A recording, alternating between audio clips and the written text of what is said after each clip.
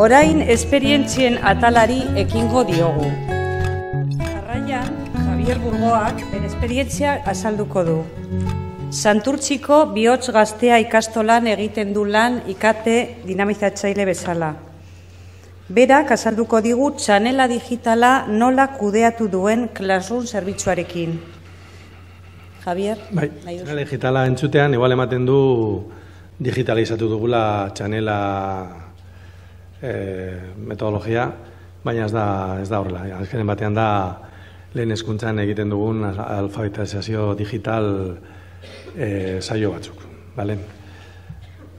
Orduan, e, bioz gazte ikastola, santurtziko ikastola da, Euskal Herriko ikastolen elkarteko kidea da, bilertako ikastetxea, zazpireun ikasle inguru ditugu, 0 amasei tartea betetzen dugu, eta aurten e, eta margarren urte hurrena ospatuko dugu. Bale?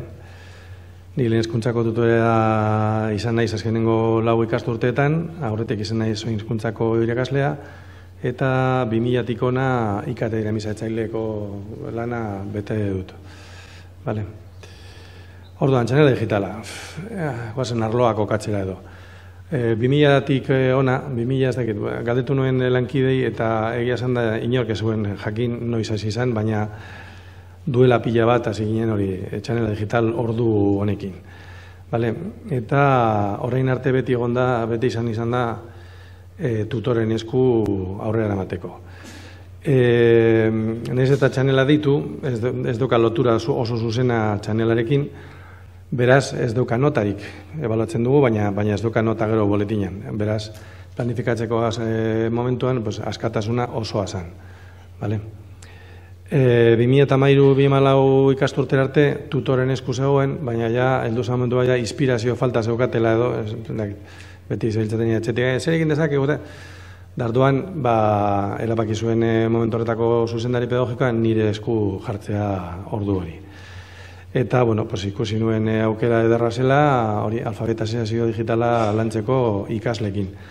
Kontutan izan da gainera, DBH-en eki zegoela, eta, bueno, pues, baliabide eta tresna digitalak e, erabiltzeko esperintza era, aurretik eramaten bazuten, pues, aurrera pasu bat izango zela ikasleintzat, ez? E, 2008-2008 ikasturtean, landutako ikasmaiak izan ziren, irugarre maiatik, bosgarre maiar arte.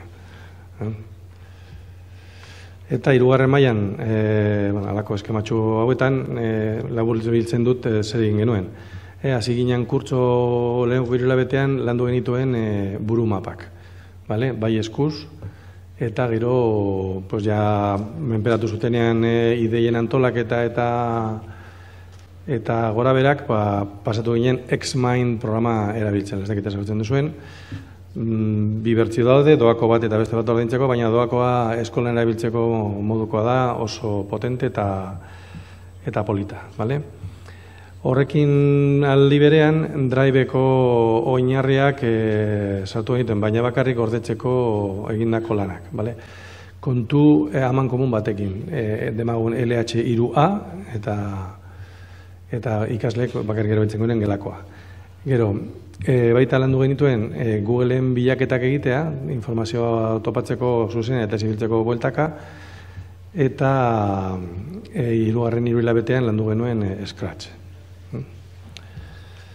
Laugarren mailan, irugarren mailan e, gehitu genion, pues, ea Draven e, nahiz eta kontu aman komunarekin jarraitzea, e, ja aurkezpenak landu genituen txanelako proiektu, bakizu txanela bakoitza, bukaeran proiektu baduka, eta normalen, bueno, pues, egiten dira edo muralak edo posterrak eta lak, edo, bueno, edo idazlanak edo ordan emateko aukera gehiago lan e, saltu genuen aurkezpenak e, egitea. Jarraitu genuen e, baita ere Xmindekin eta Driven gordetzen egindako lan guztia. Eta azkenez baita ere burumapak eskuz eta Scratch. Azken batean hiru laugarra mailako lana berriantzerako izan zen.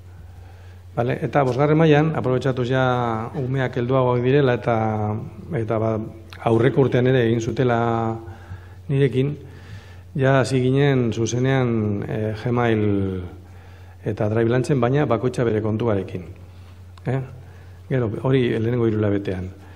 Eta bigarren hilabetean bideo digitala landu genuen, e, ba, hori, ba, aurkezpenei gehitzeko beste, beste aukera bat e, proiektuen e, aurkezpenerako. Eta azken nuen hilabetean eskratz landu genuen. Vale? Classroom agertzen da, baina gero kontatu gizuet. Classroom. Bimeta denlako abuztuan, e, guru webgunea, ez dakit zuen, E, ba, bore, ba, jaso nuen berrea, zelan e, Googleek aurkezten zuen Classroom. Frogatu nuen hasi korrika batean, eta edo izdu zitzaidan lehen eskuntzarako, berezik bosgarren mailarako aukera aparta zela. Eh? Kontutan iku behar dugu, hau dela, hasiera hasierako Classrooma, eh? Osa, askoz gaur egun daukan e, aukera baina askoz gutxiago zituela. Ez dakit bakarek, e, jarduerak eta iragarpenak, ez dugu horatzen oso. Pero bueno. Oazter ordu, ordu bakar bat izanik, e, sarritan eta ikasle gaina eskatzen zuten, ordu horretan ezien denbora ematen e, proposatutako jarduerak e, bukatzeko. Orduan, honen bitartez, etxean jarraitu zuten eta eta bueno, pues eso. E, ikusi nuen baita ere, Classroom lehen eskuntzarako oso aproposa zela modelo baino asko simpleagoa eta horregatik adinoetarako egokiagoa. Eh? Eta gero, baita ere, drive karpeta eta kudeak eta normalean, eh, pues, azten zarean taldea, arloa eta, eta, eta saioa, igual galtzen dira ez. Eta, bueno, pues, eh, klasumek ematen duen eh, abantaia da, kudeak gardena bihultzen dela, zugartzen duzu artxiboa, eta bera, ekarri, buelta, eraman, bai ikasle eta ikarakaslearen entzat. Ez ibili behar draiben ba, bakar irakaslea eta sortzerakoan e, jarduerak. Lehen esan moduan, hori, jardueren kudeaketako oso aproposa da, badoaz bat abesteren atxetik, egin alduzu iragarpenak, abisatzeko, e, gero, e, aurkezpena bateratua da, berriantzerako dira, baina, bueno, ikusten da zer demakoitza. Gero, oso egokia iruditzen zait, e, jarduera bakoitzan, erabiliko diren material osagarriak edo bideoak edo umeak bideratzeko erabiliko duzun materialak txertatuta joan aldirela e, jarduerekin batera. Orduan, bueno, pues errazten du asko, ezibiltzea aurrera, eta joan zaitezte elbidera, zuzenean klik, eta e, agertzen zaie, bale? Eta gero, e, irakasle moduan, e, ikasleen lanaren jarraipena oso oso erreza da. Eh? Zuzenean ikusten duzunean e, jarduera, esaten dizu zenbatekin burutu duten, zenbatek ez duten burutu, gero bakoitzan sartzen zarenean, e, ikusi alduzu egindako lana, eman aldiozu zuzenean e, lanarri buruzko feedback, erteko, ba, bueno, hobetu alduzu hemen, egin alduzu hau, hau konpondu behar duzu, hau zuzendu, bueltatzen diozu berari, konpontzen du, oza, bueltatzen dizu berriz, lortu arte emaitza egokia izatea. Eta gero azkenez, pues, beharrezko bada, kalifikatu daiteke e, jarduera. Eta bueno, pues, gainera kalifikatzeko sistema malgua da eta jarri alduzu zuk nahi duzun e, e, zenbakiak edo. Eh? Vale? Izan dako arazoak, noski arazoak izan genituen, klaro. Horan, klasrum hasiera batean nahiko berde zegoen eta, eta bueno, ba, suposatzen zen e, matrikulazioak egin alzirela taldeka, eh, bakizu ez dakite Google Appseko pakete barruan, ikasleak taldekatu aldira e, gelaka eta sortu dezakezu eta gela bakoitzeko korreo helbide konkretu bat, eta orduan, matrikulatzen duzuan, korreo helbide hori matrikulatzen dira guztiak jarraian. Bueno, ba, momentu horretan, ez funtzionatu behar beste, eta orduan, egin nuen izan zen, banan-banan, takatakata, sartu. Eh? Gero, ikasle batzuei, e, pilatu zitzaien, mm, hau, hasiatik egin genuen, beraz, pilatu zitzaien gemaileko edo, edo saioa zabaltzea, e, klasomera joatea, eta orduan behar izan genituen, bi saio guztiok eh, ritmo eta eta pizkat ulertzeko eh, sistemaren funtzionamendua. Eh? Baina behin hartuta hortik aurrera primeran. Eta baita ere, bakizu, eh, klasrumen jarduerak daukate aukera komentio, komentarioak edo alako txat edo antzerako bat sortzeko. Eta kendu behar izan nuen, oza, bigarren minutuan, kendu behar izan nuen, Ose, ya Susana así con el hola, ¿qué hace? Eta, eh, ez inezko, vamos. Eh, bueno, hau izango zen eh, pantalla, hasierako pantalla. Eta, bueno, lehenengo irilabetean, landu genuen hori, Gmail, bale? Ordan hor, Gmail barruan, sartu beharren zuzenen Classroomera edo Driver edo, be, be, nahi izan nuen, errezena, gmail.com, Eta bertan egiten genuen esan hori, lehenengo saioa hasi, gogoratu mm, pasaitzak.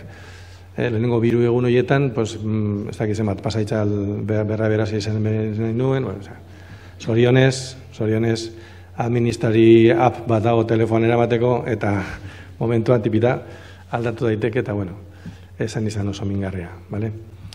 Mesuen kudeak eta bialdu, jaso, eta pun, jasotako irudi eta artxibo, ez, irudiak eta artxiboak eta lasterbideak zelan txertatu mesuetan. Eh? Gero jasotzen dituzu mesu eh, artxiboak atxikitako mesuak, pues, non gorde, egin beraiekin, eta baita ere, pues, hori, irugarren laugarren saioan, pues, eh, adingabekoak zirenez, eta suposatzen da, bosgarren maila batean, ezin diegula olakorik eman, ba, moztu beri zenuen daun minutik kanporako mesuak bialtzea, zera, ja, hauek ziagi ziren eh, idazten edo nori. Draiben, ba, landu genuen baita ere, hori pantailara agertzen diren atal guztiak, dual guretzat heldu e, argi eta garbi ikusten direnak, ba, ba, beraientzat, ba, batzuei gustatzen zitzaien ulertzea, ba, hori, karpetak hemen, artxiboak, eh, bale? Gero, karpetak eta beraien aukerak zintzu ziren, pues, kolore aldatu, izen aldatu, mugitu aldirela, tal, pon e, partekak eta, karpetak eta artxiboen partekak eta, gero partekatutako artxiboen, oza, jasotzen dituzun, partekatutako jasotzen dituzun artxiboak, zelan kudeatu, zelan gorde karpeta batean, edo mantendu, eta gero ja ekin genion e, dokumentuen ekoizpenari.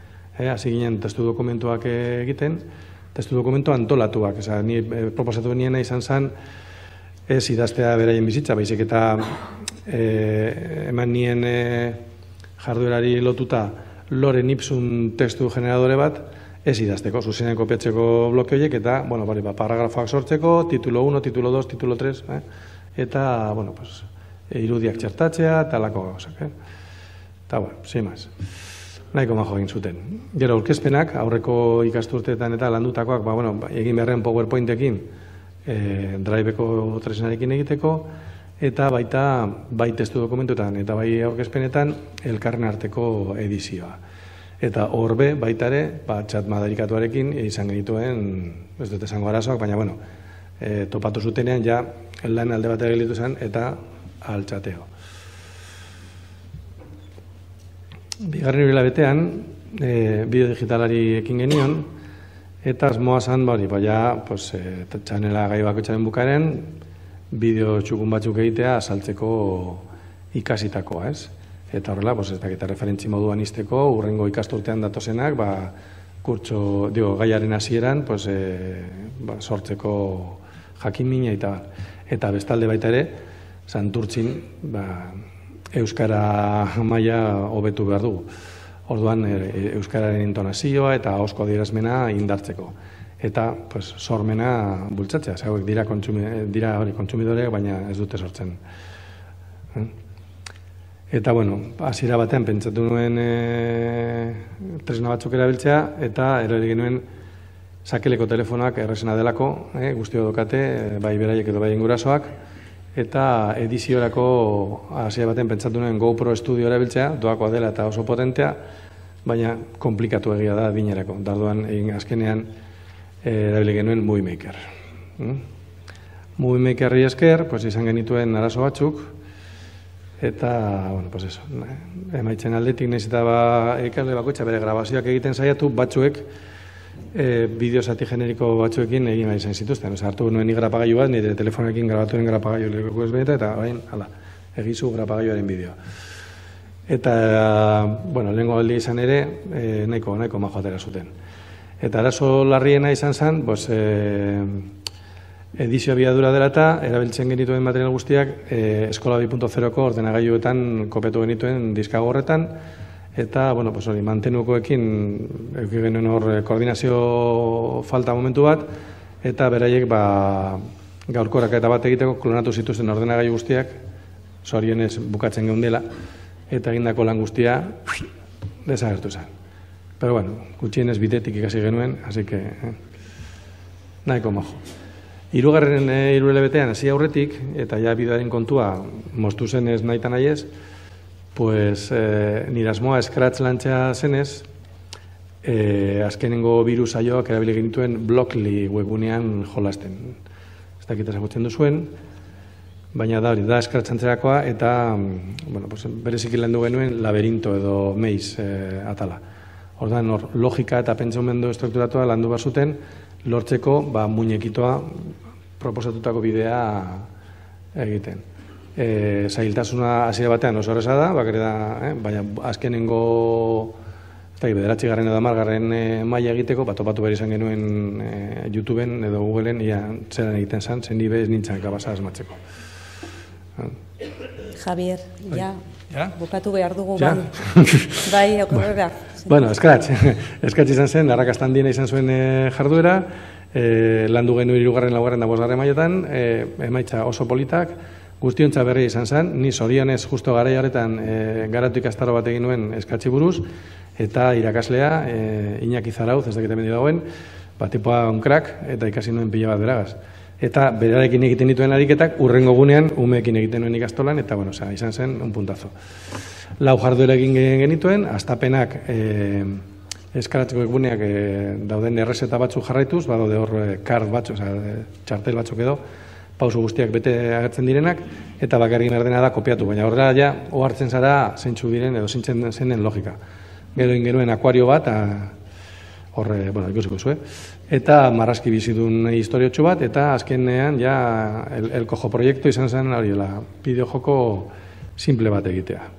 Vale? Ikusten duzen ez baitare e, klasun bitartez, hor, bueno, pues, apunteak, e, txartelak eta dana, hau izan zen akuarioa, pues, e, bai tiburoi eta, eta medusa edo hori, mugitzen ziren edo ez dakit, octopus, mugitzen ziren aurrera tatzera, eta bueno, lortu bat zuten errebotatzea eta aurrera tatzera egitea. Ba, sin historia, pues bueno, ja, badua komplikatzen, eh, bloke gehiago jarri behar dira, eta azkenengo ja jokua, baina hor elemento pila agertzen ziren, bako itxasokan bere, bere, bere komandoak eta bere programa, eta bueno, pues ja, baita ere jarri behar zituzten eh, estena toki ezberdinak, azkenengoan lortzen zuten agertzeko el sorion, a partir de eta, eta bueno, ibilizean hor buru belarri, vamos, eh, buru altzatu barik. Ondoria da. Barkatu ja, baina eske ezin dugu. Pena da, baina purrengoa dago zain. Hala. Bai. Venga. Eskerrik asko.